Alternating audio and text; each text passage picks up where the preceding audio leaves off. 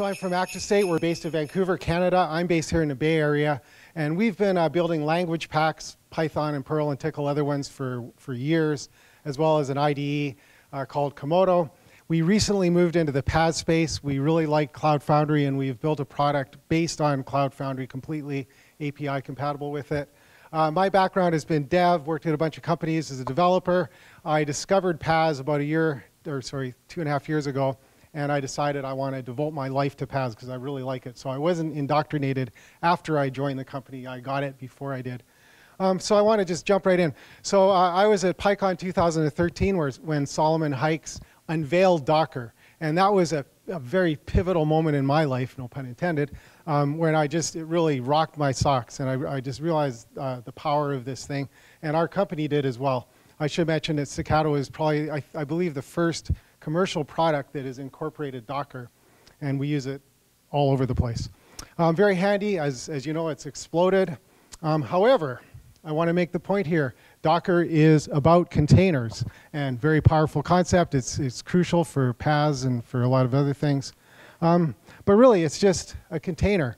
There's so much more to the ecosystem and the, the whole infrastructure than just containers um, you need to be able to move these things around. You need to be able to load them. I'm gonna, I'll, I'll have this analogy with shipping containers for a couple of slides and then I'll dive into PaaS. Um, but yeah, you need to move them around, you need to load them, transport them, uh, transport them, you know, lift them up and drop them on ships, uh, transport them across different infrastructures, I guess. Um, so the point is that there's, there's, um, the containers are powerful, but you need so much more than containers, and I'm going to dive into what exactly I mean by that. Um, so for developers in enterprise today, they are hobbled currently by process and by their current tools.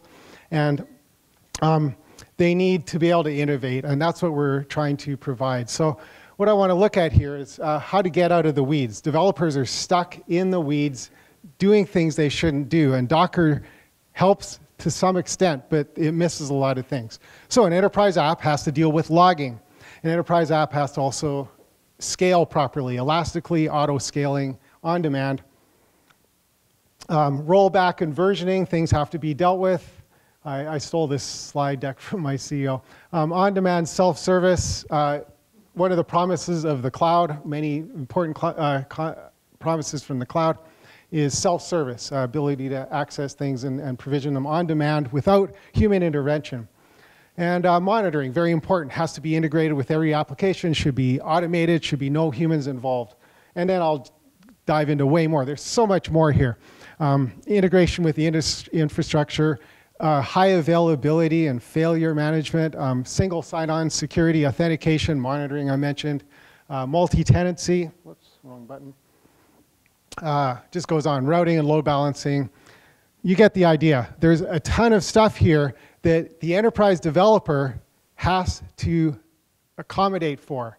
And sure, you can use Docker, but you have to spend a lot of time rolling all of this stuff yourself.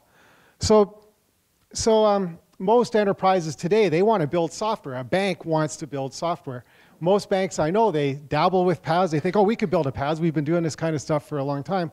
But really, um, it's not an easy job, and Cloud Foundry has done a wonderful job of building a very powerful PaaS that does all this stuff for you. So sure, you can use, uh, you can build a PaaS, but why?